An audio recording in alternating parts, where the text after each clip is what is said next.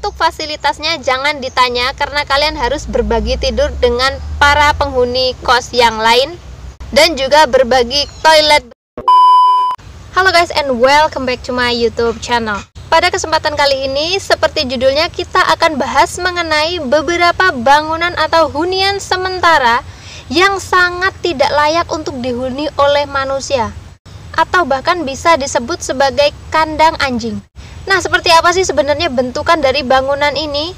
Sebelum ke pembahasan, alangkah baiknya jika kalian yang belum subscribe channel ini, please bantu untuk subscribe supaya ke depannya channel ini menjadi lebih baik dan membuatku lebih semangat untuk membuat konten-konten menarik lainnya. Tentu saja bagikan juga ke teman kalian, siapa tahu teman kalian juga membutuhkan informasi ini. Dan tanpa berlama-lama, kita langsung saja ke daftar bangunan yang pertama. Kalian pasti sudah tidak asing dengan film Parasite. Film produksi Korea Selatan ini bahkan memenangkan Piala Oscar pada tahun 2020 guys. Di mana film ini adalah satu-satunya film Asia yang berhasil merebut Piala Oscar dan menyabet empat kategori sekaligus.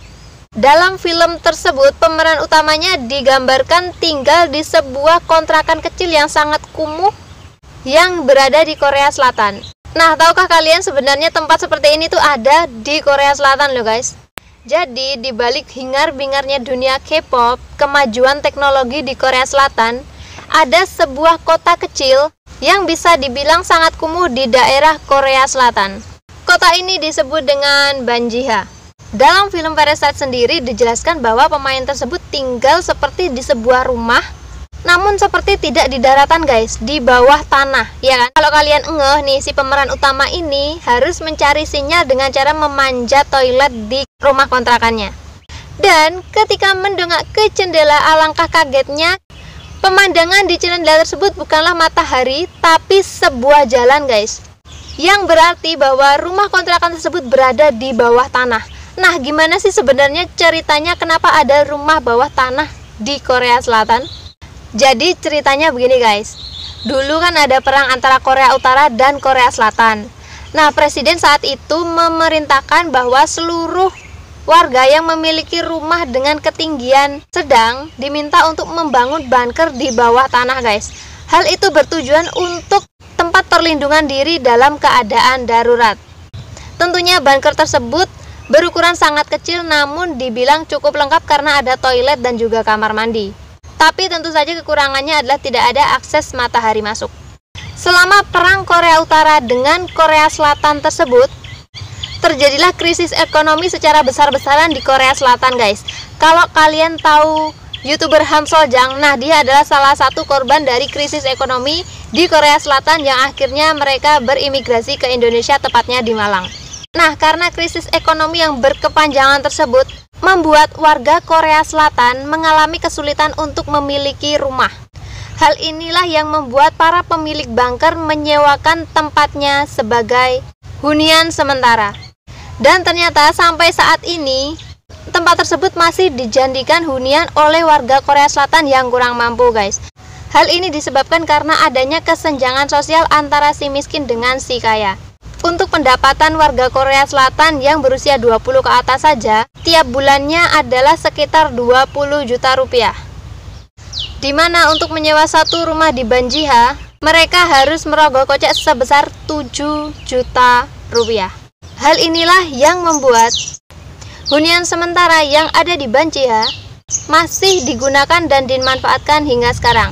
Meskipun dahulunya untuk penyewaan bunker ini diilegalkan ya guys. Jangan bayangkan gimana suasananya karena ketika musim panas, kelembapan dalam rumah tersebut akan meningkat dan akan membuat jamur-jamur tumbuh menjadi subur. Untuk pertukaran oksigennya pun pasti sangat kurang, di mana untuk tanaman kecil tumbuh aja susah guys karena tidak adanya matahari. Untuk hunian selanjutnya adalah yang ada di Jepang.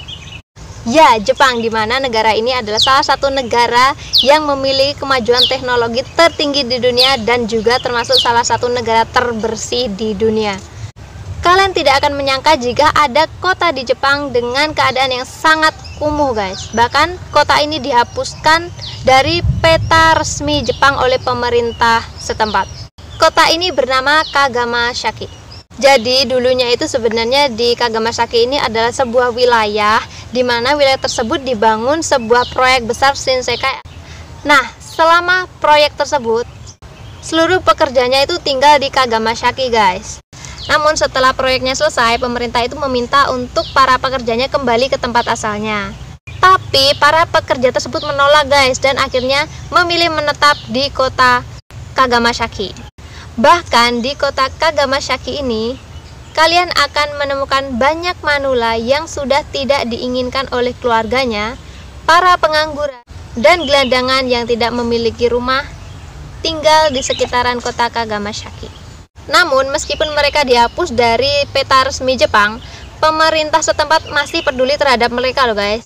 Di mana setiap sorenya para penghuni kota Kagamasaki tersebut akan mengambil jatah dari bantuan sosial pemerintah.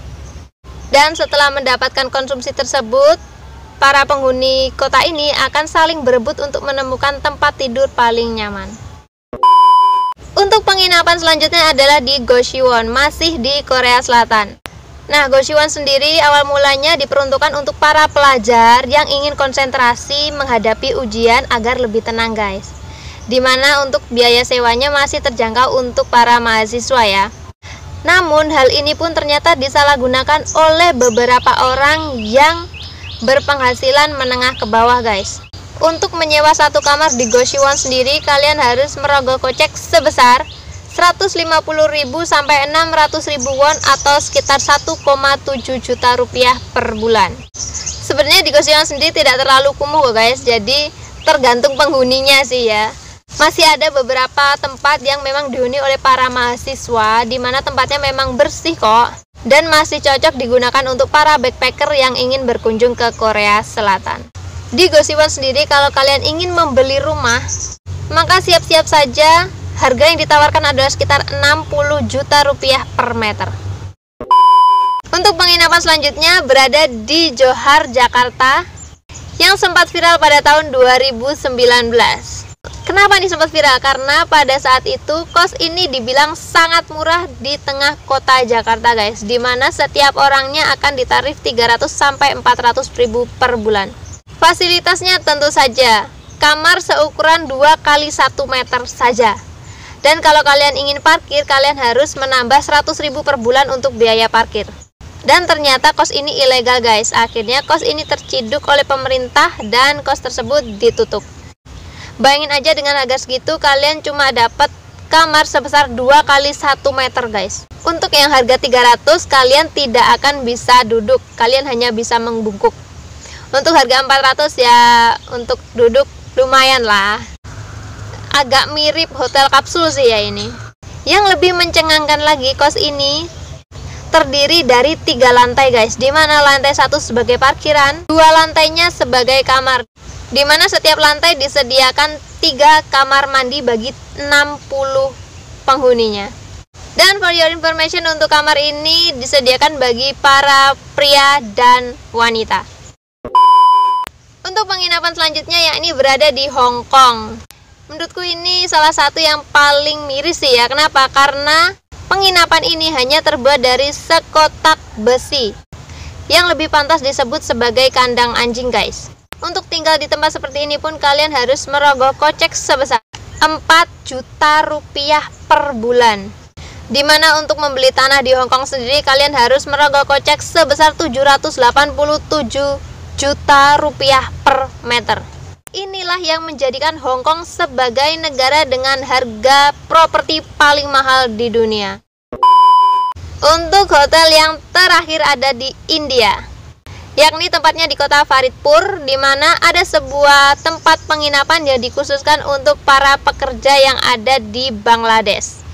Kalau kalian belum tahu, Bangladesh ini memang banyak sekali tempat produksi barang-barang brand dari luar negeri. Jadi di sana memang SDM-nya terhitung murah, guys. Nah, karena SDM yang murah, para pekerjanya harus hidup sangat hemat, guys. Di mana di Faridpur sendiri ada sebuah tempat yang memberikan fasilitas penginapan yang berasal dari sebuah kapal yang terbengkalai. Jangan kaget, untuk menginap di kapal ini kalian hanya perlu membayar 4.000 sampai 19.000 rupiah dalam semalam. Untuk fasilitasnya jangan ditanya karena kalian harus berbagi tidur dengan para penghuni kos yang lain dan juga berbagi toilet bersama dengan banyak penghuni lain. Nah, seperti itulah kira-kira harga-harga yang ditawarkan kos di seluruh dunia yang sangat mencengangkan. Buat kalian yang kurang bersyukur, mari bersyukur karena masih bisa hidup dengan sangat nyaman di Indonesia. Dan semoga ke depannya Indonesia menjadi negara yang sangat makmur dan mensejahterakan seluruh rakyatnya. Terima kasih sudah menonton video ini. Semoga video ini membantu dan menambah wawasan kita semua.